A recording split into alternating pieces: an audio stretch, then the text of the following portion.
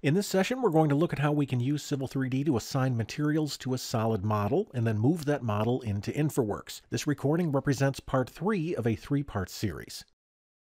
As you can see, we're picking up right where we left off. If I zoom out and pan over, we can see that I have successfully converted about a third of my wireframe into solid geometry. So this is enough to look at how we can add materials to this model and then move the model over into InfraWorks. Let me zoom back in. Before I add materials, I am going to change my visual style. Let me open the visual style menu and I'll select realistic. This way, as I add materials to the drawing, I'll be able to see them right here in model space. I would also like to isolate the layer containing my solids. It's currently just one, the sketch layer. I'm going to do that by opening the layers panel. I'll click the isolate button and I'll select one of my solids and I'll press enter.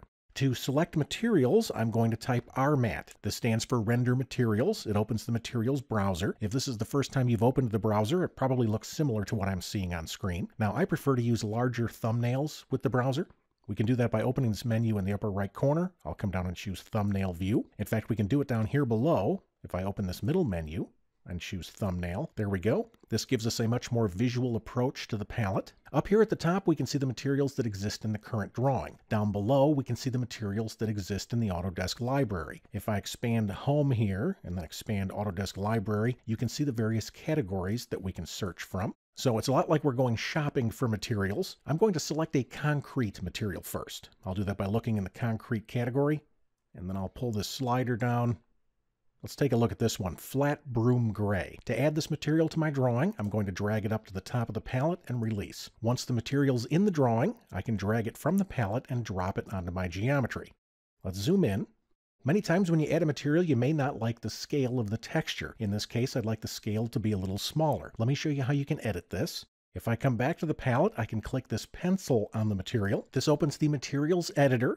Very easy to change. All I have to do is click the image property. And in the texture editor, let me drag this down. I'm going to change the scale. You can see we can adjust the width and height. Currently, the proportional lock is turned on. I'm going to change the scale from 9 to 1, and I'll press enter. Notice we can see that change happen immediately on screen, so you can dial up your materials to look exactly the way you like. When I'm finished, I'm going to close the editor, and I'll close the other editor. We'll zoom in, and we can see the difference.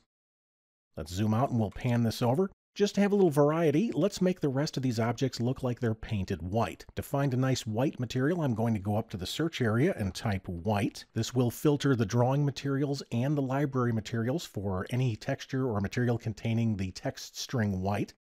I'm going to further narrow my search by coming down to the finish category. Right here I've got a lacquer white material. Another way we can add materials to the drawing is by dragging them directly from the library and dropping them onto an object. This will also add them to the drawing.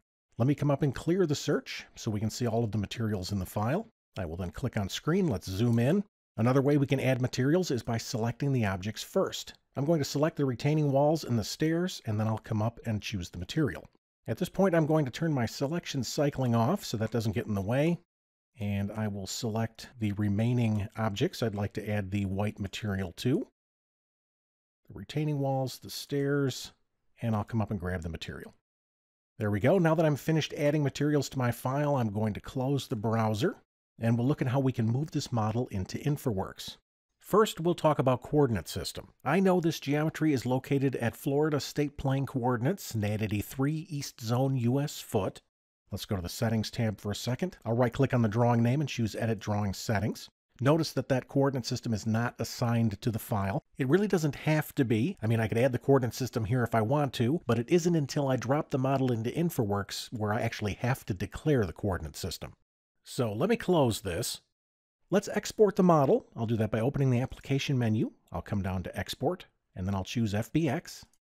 I'm going to save this in a sample folder on my machine and I'll call this stairs.fbx and I'll save. I'd like to export selected entities. Let me click and I will select these. I'm going to be exporting the objects with the materials and I'd like the materials embedded. Let me click OK. Now that I've exported my model, let me put things back the way they were. I'm going to open the Layers panel, and I'll come down and choose Unisolate to turn my layers back on. I will then open the Visual Style menu and flip this back to Conceptual. Next, we'll jump over to InfraWorks. Here you can see I have a simple model that was created using Model Builder. To add the stairs, I'm going to bring up Windows Explorer. And in that sample folder, I'll grab my FBX file and drag and drop it into the model. Immediately, InfraWorks recognizes I'm adding content. All I have to do is tell InfraWorks what this content represents. Let me open the type menu and I'll choose City Furniture. Then I need to choose the coordinate system. Here's where I'll select the same coordinate system that I'm using in Civil 3D. I'll do that by clicking the globe. I'll come down to USA, Florida, and I'll choose NAD 83 Florida State Plane East Zone US Foot. When finished, I'll choose Close and Refresh. Finally, we'll close the Data Sources panel, we'll zoom in, and we can orbit around the model. So looking back to the first session, even if we only have 3D wireframe geometry, we can still leverage that content in InfraWorks. By using a few AutoCAD and Civil 3D surface modeling tools, we can quickly convert the wireframe to solid geometry. We can then add materials and take advantage of the coordinate system to drop the model perfectly into place inside of InfraWorks. Would you like to explore other Autodesk infrastructure ideas and workflows? If so, please visit the Civil Immersion blog by scanning the QR code or by following the URL listed below.